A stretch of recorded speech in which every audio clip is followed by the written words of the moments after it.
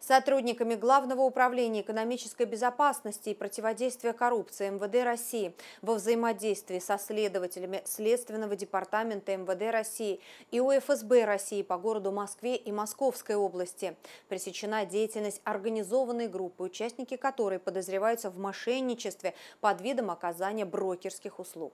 Установлено, что начиная с 2014 года на территории Московского региона города Санкт-Петербурга, а также Свердловской, Тюмени, Тюменской, Мурманской областей Республики Башкортостан злоумышленниками были созданы филиалы, зарегистрированные в Республике Кипр организации. Хищение денежных средств граждан осуществлялось путем заключения клиентских соглашений на оказание услуг прямого доступа к международным фондовым рынкам от имени Кипрской организации, где поверенным выступала одна из инвестиционных компаний. В действительности инвестиционной деятельностью они не занимались. Полученные активы перечислялись на подконтрольные счета компаний нерезидентов, похищались, а затем легализовывались через девелоперские проекты.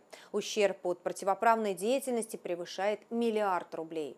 В настоящее время установлены факты мошенничества в регионах присутствия филиалов данной компании, а именно в городах Москве, Санкт-Петербурге, Свердловской области и Республике Башкортостан.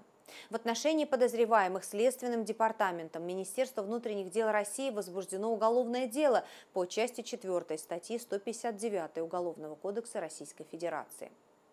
В ходе обысков, проведенных по адресам проживания фигурантов и в офисных помещениях, обнаружены изъяты предметы и документы, имеющие доказательственное значение для уголовного дела. Двое активных участников противоправной деятельности заключены под стражу. Комплекс оперативно-розыскных мероприятий и следственных действий продолжается.